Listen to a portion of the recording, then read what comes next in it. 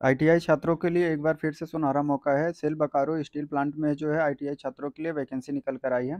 आपके अपने YouTube channel government ITI में आप सभी का हार्दिक स्वागत है।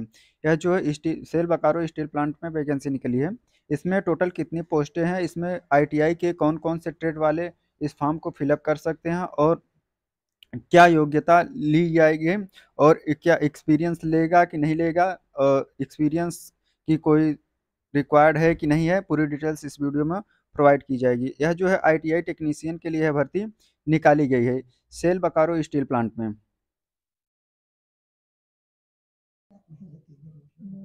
तो हेलो गैस जैसा कि आप लोग देख सकते हैं, यहाँ पर steel authority of India limited की तरफ़ से बहुत बड़ी वैकेंसी निकली है।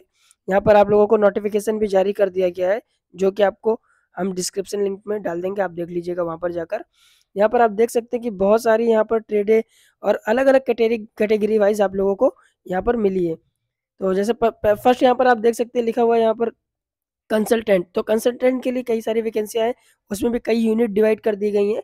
तो यहाँ पे आप जाकर नोटिफिकेशन में इजीली देख सकते हैं कि कितनी सारी डिवाइड मतलब कितनी चीज़ें हैं और कैसी वैकेंसी है। सेकंड आपको यहाँ पर देखने को मिलेगा मेडिकल ऑफिसर। तो मेडिकल ऑफिसर में दो यूनिट दी गई है बीएसएल और जे जी ओ एम। तो यहाँ पर इसमें टोटल पोस्ट है। देखिए बीएसएल के लिए आठ है और जे के लिए दो पोस्ट है।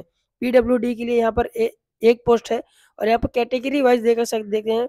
U R S C S T O B C E W S इनके सब के लिए भी कितनी कितनी वैकेंसियाँ दी गई यहाँ पे आप देख सकते हैं।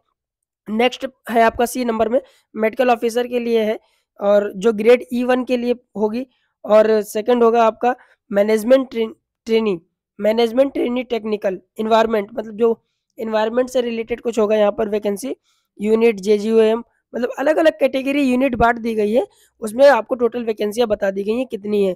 तो अगर आप इसके लिए एलिजिबल हैं तो आप इजीली अप्लाई कर सकते हैं और बहुत बड़ा मौका दिया यहाँ पर सेल ने। यहाँ पर नेक्स्ट है, देखिए ऑपरेटर कम टेक्नीशियन ट्रेनी मतलब टेक्नीशियन ट्रेनीज के लिए भी यहाँ पर कुछ सारी मतलब ये नॉन एग्जीक्यू नॉन एग्जीक्यूटिव कार्ड है। तो यहाँ पर ये वैकेंसी भी आपके लिए बहुत फ़ायदेमंद हो सकती है। इसमें देखिए, कुछ डिप्लोमा वगैरह मांगा है। मैकेनिकल है, मेटलर्जी है, केमिकल है, इलेक्ट्रिकल है, इंस्ट्रूमेंट एंड ऑटोमेशन के लिए है, सिविल, सैरमिक, ये सारे आपसे वहाँ पे आपकी एलिजिबिलिटी के लिए क्वालिफिकेशंस मांगी गई हैं। और नेक्स्ट आप देख सकते हैं कि माइनिंग फोरमैन, जो माइनिंग्स वगैरह होती है, उसके लिए फोरमैन की भी ज़रूरत है तो यहाँ पर उसके लिए भी एक वैकेंसी निकाली गई है, जिसमें टोटल नाइन पोस्ट दी गई हैं। सर्वेयर क्या होता है? सर्वेयर एक सिविल लाइन का काम होता है जैसे आप लोग जानते होंगे, आप लोग टेक्निकल बंदे हैं। तो सर्वेयर के लिए भी यहाँ पर कुछ पोस्ट दी गई हैं। माइनिंग मेट के लिए भी कुछ सारी पोस्टें दी गई हैं, यहाँ पर आप देख सकते हैं। तो माइनिंग मेट का मतलब होता है कि वहाँ पर माइनिंग से रिलेटेड कोई काम होगा।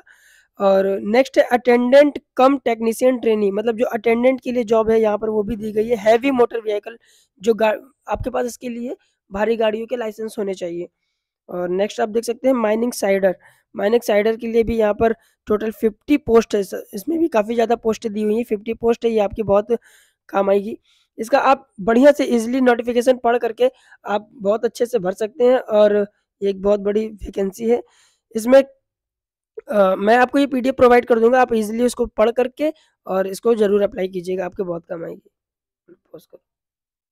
इलेक्ट्रीशियन वाला ओ लास्ट वाला ये देखिए जी नंबर पे आपको एक दिया हुआ है अटेंडेंट कम टेक्नीशियन ट्रेनिंग ये इलेक्ट्रिशियन के लिए जैसे इलेक्ट्रिशियन के लिए ही सिर्फ़ ये यहाँ पर है फोर वैकेंसीज में एस आर यू से रिलेटेड है और सी डी यूनिट के लिए चार वैकेंसी है टोटल तो यहाँ पर आठ वैकेंसी टोटल इलेक्ट्रिशियन के लिए दे दी गई है। और क्या कहते हैं यहाँ पर अटेंडेंट अटेंडेंट कैम टेक्नीशियन के लिए जो ट्रेनिंग के पद पर लिया जाएगा। इलेक्ट्रीशियन के लिए है। यहाँ पर एज जो है दिया है अट्ठारह ईयर दिया है। मैट्रिक इसमें हाई स्कूल और क्या कहते हैं, आईटीआई, टेट जो है एनसीवीटी इन इलेक्ट्रीशियन से जो है, गवर्नमेंट ऑर्गेनाइजेशन जो है, आईटीआई, क्या कहते हैं, आईटीआई पास आउट कैंडिडेट होना चाहिए और हाई स्कूल जो है, इसमें एक्सपीरियंस की कोई भी कैटेगरी नहीं ली गई। यहाँ पे नॉन एक्सपीरियंस वाले भी इस फॉर्म को फिलअप कर सकते हैं। अगर इसमें फ़ीस की हम बात करते हैं यह फॉर्म आवेदन कब से हो गया फॉर्म जो है पच्चीस मार्च से आवेदन स्टार्ट हो जाएगा और इसकी लास्ट डेट जो है पंद्रह अप्रैल तक यह आवेदन इसका लास्ट डेट है, पंद्रह अप्रैल तक यह लास्ट डेट अगर इसमें एप्लीकेशन की फ़ीस की हम बात करते हैं, इसमें जनरल और ओ बी सी और ई डब्ल्यू एस के लिए जो है तीन सौ फ़ीस रुपये है। तीन सौ एस टी और ई एस एम के लिए जो है हंड्रेड रुपये फ़ीस रखी गई है।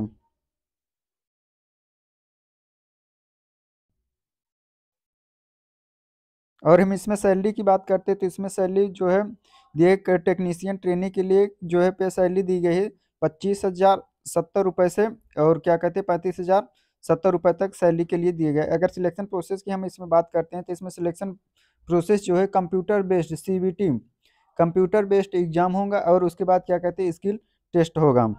आपके, अगर आप सभी को वीडियो अच्छा लगे तो चैनल पर नया है तो चैनल को लाइक और सब्सक्राइब ज़रूर करिएगा। धन्यवाद।